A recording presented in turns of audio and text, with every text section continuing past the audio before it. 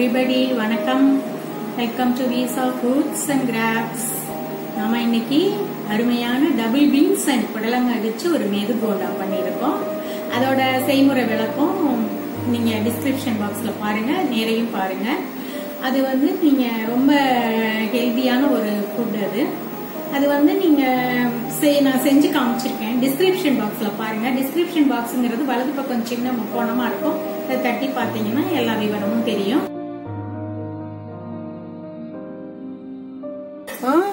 ஊற வச்சிருக்க double beans போட்டுடலாம். பாதி பாதியா போடுங்க. ரெண்டு வாட்டி அரைச்சுக்கலாம். புடலங்காயில பாதி. ஏற்கடலையில பாதி.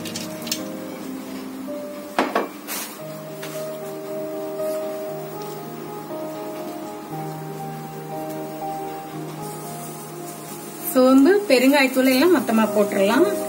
இது வரமிளகாத்தூள் டிஷ்ஷுக்கு தேவையான வரமிளகாத்தூள் ஒரு ஸ்பூன் எட்டு டேபிள் ஸ்பூன் டிஷ்ஷுக்கு தேவையான உப்பு போண்டாக்கு தேவையான உப்பு மொத்தமா போட்டுரும் அப்புறம் சும்மா அரைச்சு எல்லாத்தையும் நல்லா மிக்ஸ் பண்ணிக்கலாம். இதை போட்டு நம்ம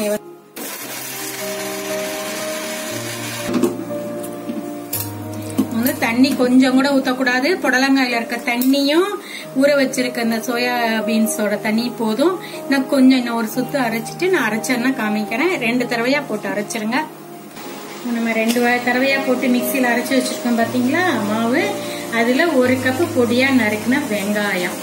போட்டுக்கங்க பொடியா நறுக்கின கொத்தமல்லி புதினா.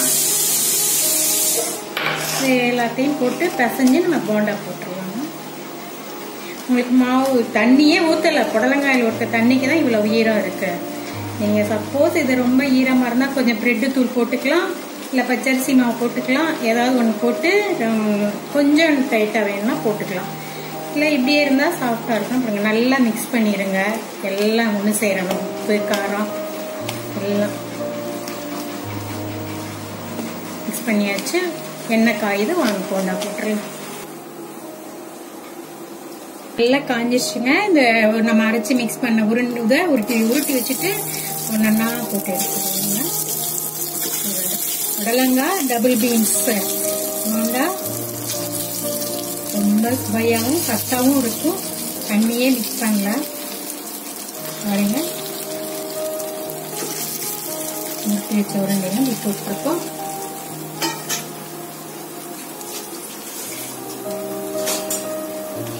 எப்பவுமே இந்த மாதிரிலாம் உடனே கரண்டி போட்டுறாதீங்க. கொஞ்சம் நேரம் அது வெந்ததுக்கு டிஸ்டர்ப் பண்ணாம விட்டுட்டு அதுக்கப்புறமா பரட்டி விடணும். கொஞ்சம் மேல வந்த உடனே. கொஞ்சம் சிவக்க ஆரம்பிச்சோம்னா நம்ம வந்து மேல பரட்டி விடணும்.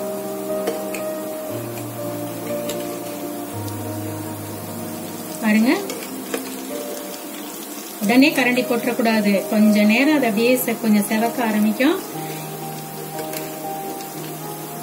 பாருங்க எப்படி உருண்டை அது.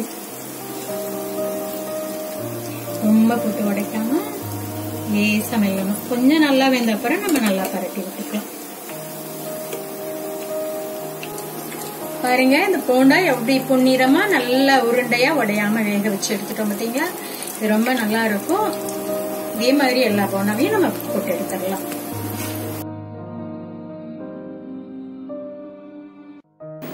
நீங்க போண்டா வந்து நல்லா க- மாவு கெட்டியா இருந்து வச்சு போடுங்க.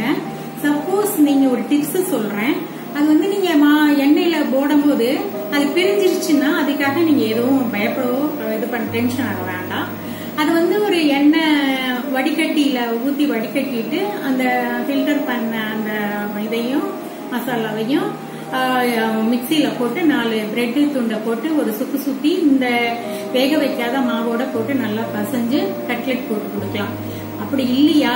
கொஞ்சம் தண்ணி விட்டு கரைச்சு கொஞ்சம் தேங்காய் பூ சேர்த்து கொஞ்சம் ஏதாவது ஒரு வகை கீரை போட்டு அடை மாதிரி பிள்ளைங்களுக்கு ஊத்தி கொடுக்கலாம். அதையும் செஞ்சு காமிச்சிருக்கேன். நீ பாருங்க. அதே போண்டா மாவு தான் இது. கொஞ்சமா தண்ணி விட்டு கரைச்சு தோசைக்கல்ல போட்டு அதே மாவு தான் அடை. சோயா டபுள் பீன்ஸ் சோயாவும் புடலங்காயும். வேற எதுவுமே கிடையாது. வெங்காயம் போட்டிருக்கேன். கடைக்கு கொஞ்சம் தேங்காய் பூ எக்ஸ்ட்ராவா சேர்த்திருக்கேன். பிள்ளைங்களுக்காக குட்டி குட்டியா ஊற்றலாம் இல்ல நம்ம பெருசா ஊத்திக்கலாம். தொட்டுக்க தேங்காய் சட்னி தக்காளி சட்னி தக்காளி குழம்பு எல்லாமே சூட் ஆகும். ரொம்ப நல்லா இருக்கும் நீங்க எல்லாரும் செஞ்சு பார்த்து கண்டிப்பா எனக்கு ஃபீட்பேக் அனுப்புங்க. ஸோ டபுள் பீன்ஸ்ல தான் பண்ணணுங்கிறது இல்ல சிகப்பு சோயா பீன்ஸ்க்கு கூட இது பண்ணலாம். தேங்க்யூ ஃபார் வாட்சிங் தேங்க்யூ வீடியோ பிடிச்சிருந்தா லைக் பண்ணுங்க ஷேர் பண்ணுங்க சப்ஸ்கிரைப் பண்ணுங்க.